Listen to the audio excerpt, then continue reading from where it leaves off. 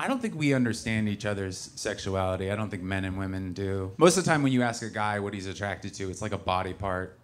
Like if you ask me, I'm like boobs. I like boobs. Have you guys heard about them? They're great.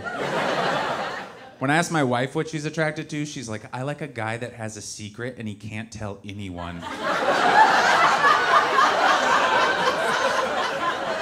Like, what the fuck is wrong with you?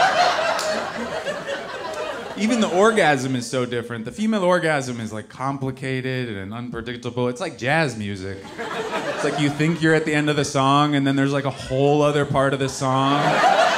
And then she starts improvising and finishes the song herself. And the male orgasm is just like an air horn. It's just one big dumb boom.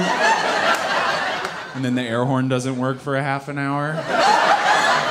I'm 40. It will be back tomorrow, let's be honest.